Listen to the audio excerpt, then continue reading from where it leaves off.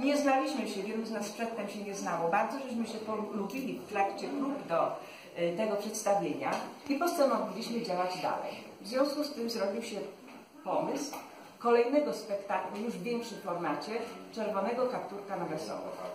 To są wspaniali ludzie, i grupę tę tworzą. Myślę, że nikogo nie pominę. Grażynka Gunia, Basieńka Sasak, Jasieńka Korol, Ulka Pietrzak, Państwo Danuta i Daniel Popieliński i ja, Jolanta Kośmin.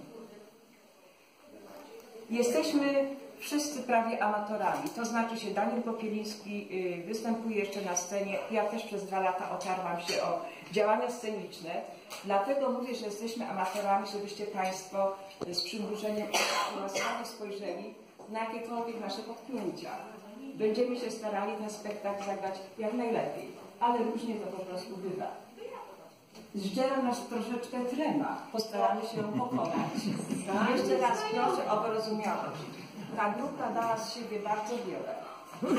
Muszę powiedzieć tak, że y, jestem autorem tekstu Czerwonego Kapturka i reżyserem, ale ten tekst nie miałby takiej formy, nie byłoby tam tyle smaczków sytuacyjnych i słownych, gdyby nie Daniel Popieliński. Także tutaj składam mu gorące podziękowania. Również podziękowania składam Dance Popielińskiej za namalowanie scenografii.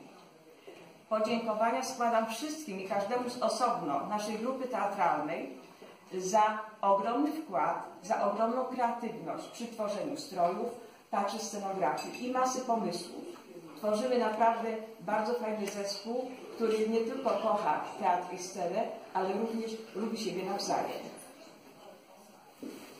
Proszę Państwa, ta historia, która będzie się działa, na którą Państwa zapraszam, dzieje się tu niedaleko, w Borach Dolnośląskich.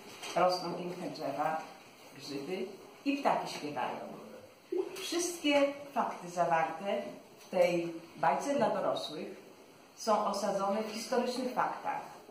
Stąd i w naszym spektaklu jest dziwnie czerwony kapturek, jest również dziwna stara zielona chatka, są bohaterowie filmowi, są również postacie bajkowe. Czyli można powiedzieć jakiś taki galimatias, ale to nieprawda, bo to jest Cover Model, bo to jest o nas, tu i teraz, historia. Zapraszam Państwa na spektakl.